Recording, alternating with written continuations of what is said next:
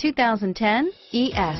Lexus has sold the ES family of vehicles since 1989 as its mid-sized luxury sedan line. The ES series has become the best-selling sedan for Lexus and known for its emphasis on interior amenities and is priced below $30,000. This vehicle has less than 20,000 miles. Here are some of this vehicle's great options. Power passenger seat, traction control, dual airbags, power steering, air conditioning, front, four-wheel disc brakes, eight speakers, security system, fog lights, power windows, rear window defroster, CD player, trip computer, electronic stability control, remote keyless entry, power moonroof, panic alarm, brake assist, tachometer. Come see the car for yourself.